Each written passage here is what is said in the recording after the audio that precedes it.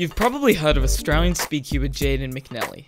He's most notable for being ranked 4th in Russia for the 7x7 speed stacking event, and for his popular fishing channel on YouTube, with over 17 subscribers. And uh, that's that's all he's known for, really. Nothing else in particular. Can't think of any recent events that would've. But that's only the tip of the iceberg. There is so much more to Jordan McNeil. So today, we're going to be counting down the top 5 facts you probably didn't know about Jaden Animations. Number 5. Jadoni McNeil currently has an impressive 6,073 completed solves in his 79 attended WCA competitions. But do you know what 6,073 plus 2 divided by 3 minus 27 is? Yeah, me neither. date of birth. Feeling facty? Well, did you know that McNeill's first name reversed spells Nedyaj? According to some very ambiguous and completely unreliable sources, Nedyaj is Hebrew and means ripple of the waves. And believe it or not, in sedimentology, ripple marks formed by waves are a feature of sediments and dunes. What? This is a fact video. That doesn't always have to be a joke. Okay, fine. Jayden McNeill is an anagram for damn. Nice jelly. Happy? Number 3. Jordan Macaulay is rumored to play guitar. However, countless reputable sources have confirmed through hard facts that he actually plays the leg. How could this happen to me? I made my mistakes, got nowhere to run. The night goes on.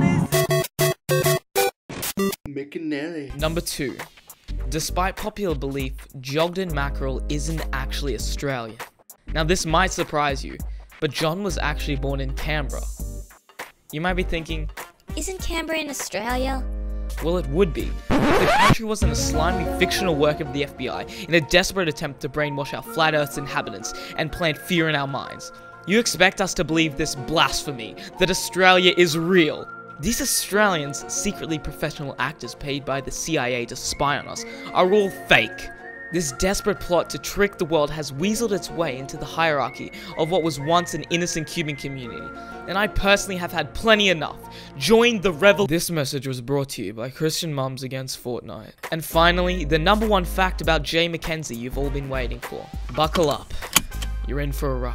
Because Joe McJenkins is a baby man. This is extremely shocking, but don't click out of the video, because this may just be one of the juiciest conspiracies in history. For all you cynics asking, how could he possibly be a baby man? That's not feasible. Well, people, look at the facts. A quick glance at Jay's Instagram can uncover his whole poorly pieced together attempt at pretending to be a normal sized man. You might see a number of tailored photos like these and blindly believe his hoax, I don't blame you, his attention to detail is sufficient to fool most brainless normies, but not a critically acclaimed conspiracist such as myself. A picture like this may seem totally normal to the average Neanderthal, but upon further inspection, you see that bulge? No, the other one. Yeah, that there isn't any ordinary leg. Have you seen the little rascals?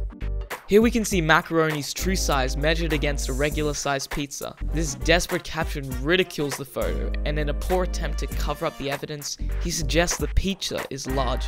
What a load of- In this photo, Jack Mackay says he isn't even hungry. Huh. On a completely different subject, did you know that a baby's appetite is three times smaller than adults?